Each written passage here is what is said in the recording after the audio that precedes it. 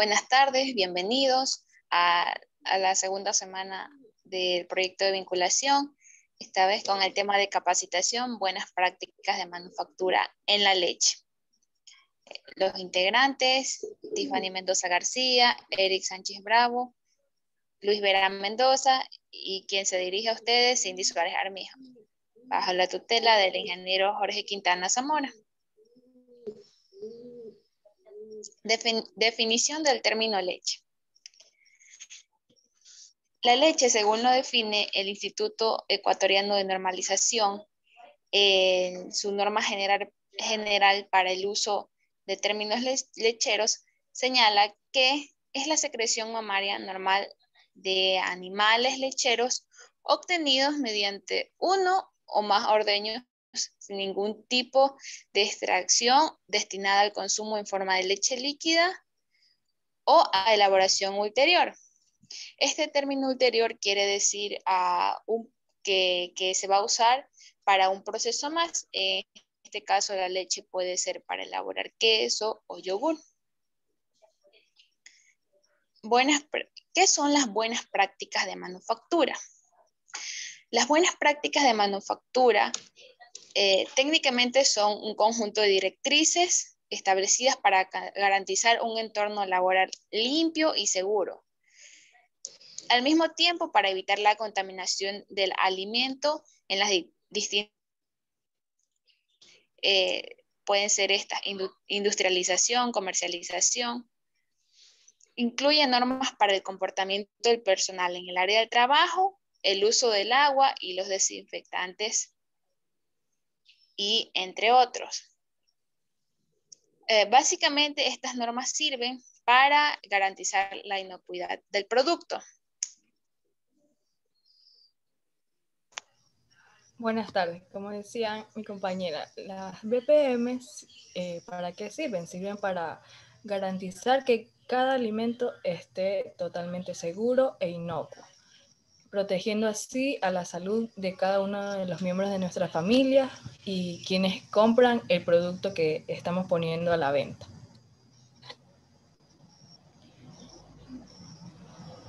¿Y dónde se aplican estas normas? Eh, se aplican a través de la cadena alimentaria. ¿Y para, qué sirve esto? Que aplicarlas para reducir eh, significativamente el riesgo que puede originar infecciones e intoxicaciones alimentarias en la población que va a consumir el producto y a su vez también va a contribuir a formar una imagen de calidad que va a reducir las posibilidades de que existan pérdidas en nuestro producto y así mantener un, control que sea eh, preciso, continuo sobre cada una de las eh, edificaciones, equipo, el personal, las materias primas y los demás procesos que compongan eh, cada uno de, nuestra elaboración del producto que deseamos elaborar. ¿Y qué es, inocuidad? Eh, la inocuidad es la garantía de que un alimento no nos va a causar daño al momento de que lo vayamos a consumir y que al mismo tiempo eh, sea preparado o ingerido de acuerdo con el uso que se destine. Es decir, que va a eh, esto garantiza que el alimento va a ser seguro y va a estar libre de toda eh, bacteria o alguna cosa que nos pueda causar daño en nuestra salud.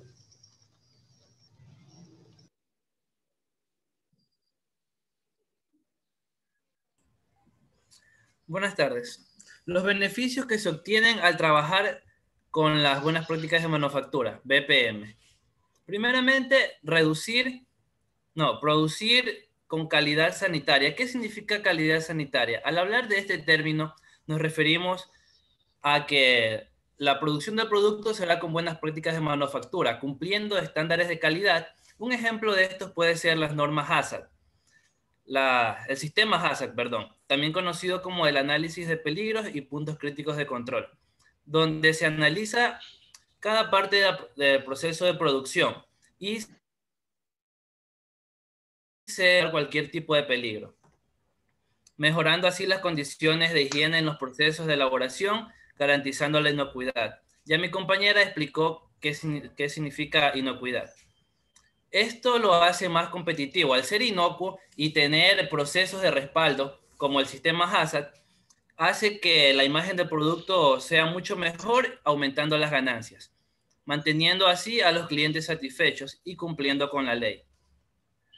Las leyes que pueden ser las normas INEN o si se tiene alguna certificación internacional que respalde el proceso de elaboración del producto, como son las ISO 9000.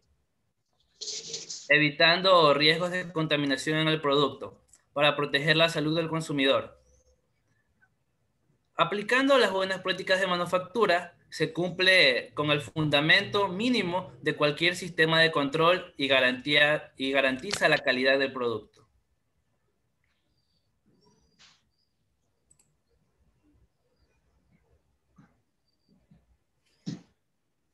Higiene personal. Las personas que estén vinculadas al proceso, al proceso de elaboración de algún producto deben mantener las uñas limpias y libres de esmaltes, no utilizar cosméticos durante las jornadas de trabajo. Antes de iniciar las labores deben pasar por un proceso de desinfección, en el cual deben lavarse las manos con agua y jabón, si lo requiere, bañarse antes de iniciar labores y siempre evitar el contacto directamente con los productos, porque esto puede hacer que sean susceptibles a contaminación. También no se debe fumar, escupir y utilizar mascarillas no se debe comer chicles dentro de, no se debe comer ningún tipo de alimento en la jornada de trabajo.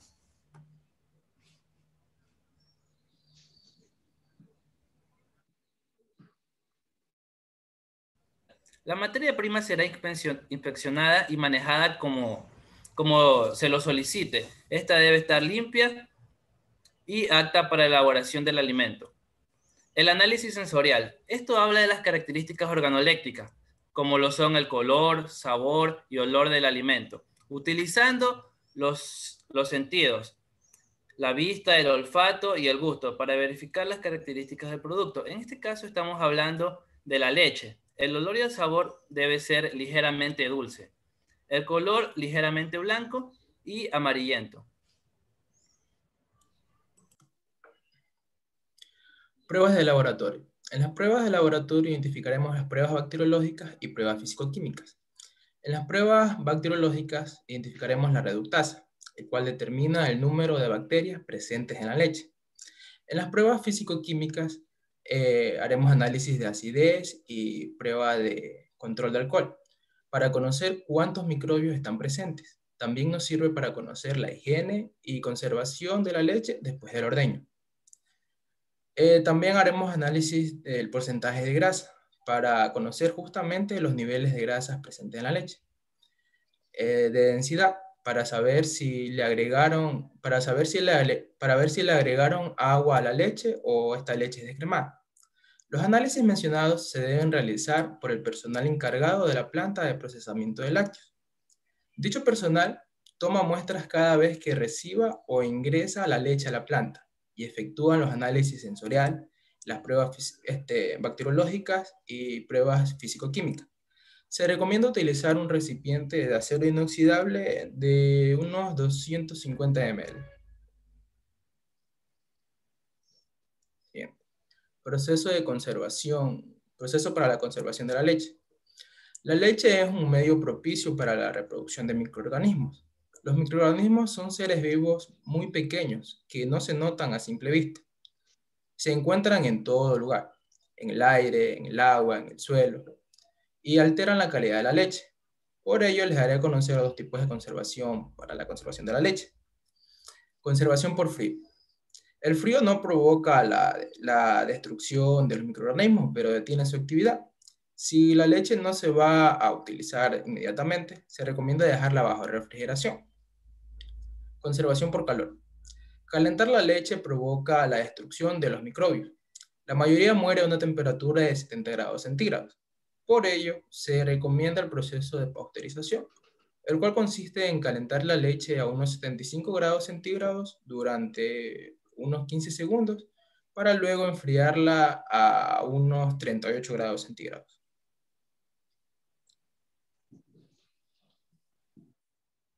Muchas gracias. Listo. Muchísimas gracias por la atención. De esta manera estamos finalizando nuestra charla del día de hoy. Si hay alguna Ay, pero sí le puedo, antes, antes que nada yo quería hacerle una pregunta. Sí. Sí, dígame.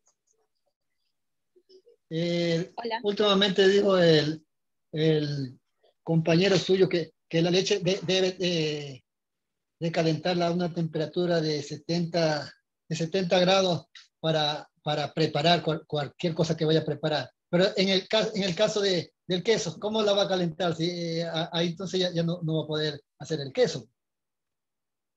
La mantequilla, todo eso. Ah, ya. Para elaborarlo. El proceso de posterización, claro, va a depender eh, del producto que se vaya a elaborar. Por ejemplo, si es para leche posterizada o para yogur, va a ser diferente. Ah, ya. No, claro, para todo lo...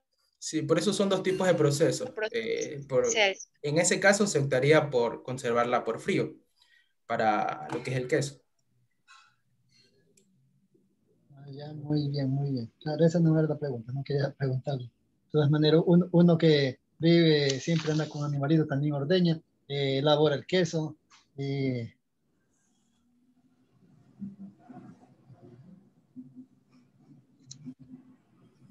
Ya listo. Bueno. Ok, gracias, gracias.